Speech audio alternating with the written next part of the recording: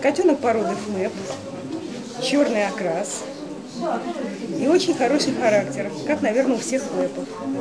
То есть это котята сообразительные, быстро обучаются, чувствуют настроение хозяина, не надоедают. Ну и, конечно, как все котята, безусловно, пока играют достаточно много в день.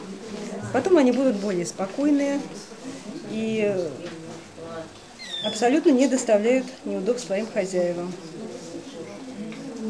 Порода флэпов является, наверное, одной из самых удобных для комнатных условий в городских наших условиях. Когда он родился? Родился он около полутора месяцев назад. Питомник закрытый. Кот и кошка и котята. Живут вместе с человеком буквально с рождения.